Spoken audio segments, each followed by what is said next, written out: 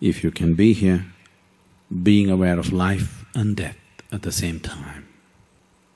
Because both are here at the same time.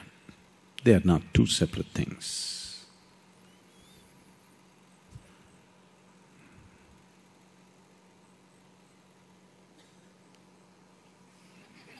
That's all it is. That fragile. At the same time, so sturdy. These are one inside the other. Life is all packed like this. Creation and the creator, life and death, everything packed one inside the other. It takes uh, attention. It takes a lot of attention if one has to see what it is. Otherwise, one just lives on the surface, half alive. If you do not know life and death at the same time, you know only one half of life. Being half alive is torture, always. So when we say Shiva, we are uttering this so that this dimension of life and death being together at the same time happens to you that the polarities are gone. There is no life and death. There is just this. For this, there is no na name yet. Because if you give it a name, somebody will invent the opposite. It's just this. But there is that. There is no that, there is just this. There is no this and that, there is just this and this. There is no yes and no, there is just yes and yes. If you want to… See, every aspect of life has this. If you want to fall in love, if you are in love, love does not need polarities, love does not need an opposite. Because for most people, love starts in their heart and sinks into their genital. An opposite is needed. For sexuality, you need the opposite. For love, you don't need the opposite.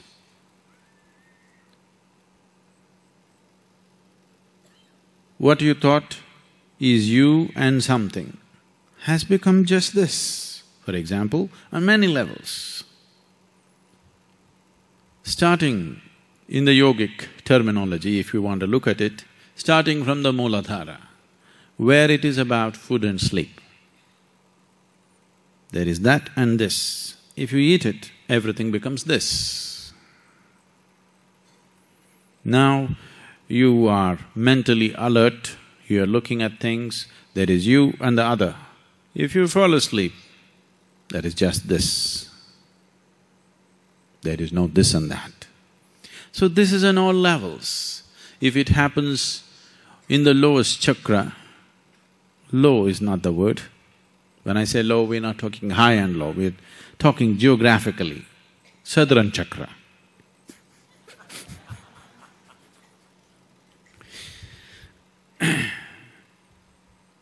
When it happens at the Mooladhara, it happens as food and sleep, but the same unity. If it happens at Swadhisthana, it happens as sexuality, but the same unity. If it happens at Manipuraka, it finds expression as ambition, greed, conquest, but the same thing. If it happens at Anahata, it happens as love, but the same thing. But now, from Mooladhara to Anahata, you have natural access.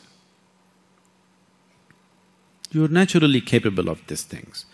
Even a child is capable of this, even a dog is capable of this. He can ingest, digest and assimilate. He has his sexuality. We have already looked at this, looked at this, dogs are loving for sure. We don't know about God, We are not so sure about the human beings. But dogs, we are dead certain. Yes? Yes or no? Mm-hmm. There is no question about dog's love. God's love, we don't know. Man's love, woman's love, we're not sure. Sometimes it looks real, sometimes we don't know. Dog's love, dead certain we are. so, from Mooladhara to Anahata, it's open to every creature actually. This comes naturally, this is a gift from nature. But if you want to go beyond this, if you want to know the union that the Vishuddhi brings about, the union that the Agna brings about, the highest possible union that can happen at Sahasrara, this will not happen unless you strive for it. If you want to live here as just another creature on this planet, nothing wrong. There's absolutely nothing wrong. When I say a cow, a dog, an elephant, a snake, I am not speaking in any derogatory term. I know, it's a very derogatory thing to say you're a dog. I don't know why.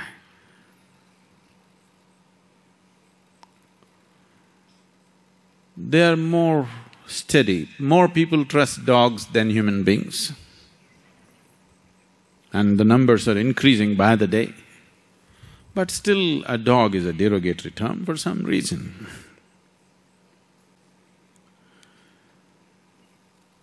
So I'm not speaking of these creatures as in any derogatory sense, but limited for sure, isn't it? The possibilities of life are limited in these forms. We are just talking about boundaries because the basic concern of a human being is to go beyond his boundaries, always. So if you want to go beyond these four levels of union that one can know, then it needs a little more awareness, a little more devotion, a little more push. If your energies rise, if you become aware, or if you experience the union in your Vishuddhi, you will become stupidly devotional. I'm saying stupidly devotional not because devotion is stupid, but generally devotees are perceived as idiots by the well-educated world because they don't stand to their reason. Anything that does not agree with your way of reasoning seems stupid to you. But it doesn't matter how stupid you think they are, they're experiencing lot more pleasantness than you do. Maybe they're not so stupid at all. It is just that they have moved their life from simple one plus one equals two to a different kind of arithmetic within themselves. Where there is no plus or minus, it's just one, always one. You must understand, without one, there is no number system. Just always one. If you know union on the level of your Vishuddhi, this is what happens, tremendous sense of power because this union is a different kind. If the union is on the level of Agna, then this brings absolute awareness and knowing. Now, once someone has attained union on the level of Agna, Suddenly, the intellectual types look stupid in front of him.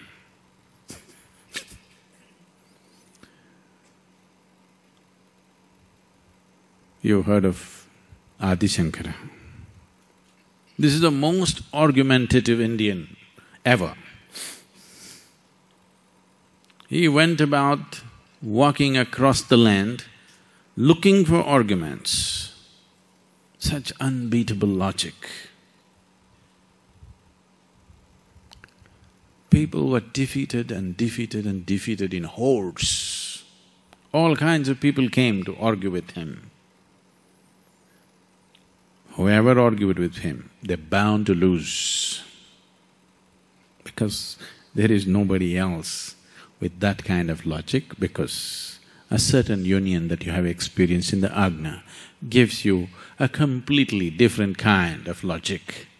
If your energies, if you find union at your Sahasrara, you're ecstatic beyond anything that you know. Shankara used to be like this, he was so argumentative and defeating people all the time in his arguments, every day picking up arguments with all kinds of people. But suddenly he would go into a temple and weep and dance like a madman. People would be shocked. We thought you were a man of reason. What are you crying? Like this. Like those buffoons who call themselves devotees, like them you're crying? We thought you were a man of true intellect.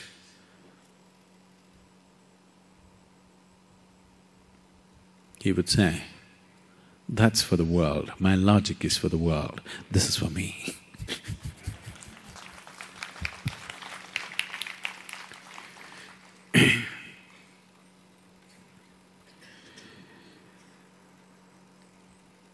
So this is a simple step one needs to take.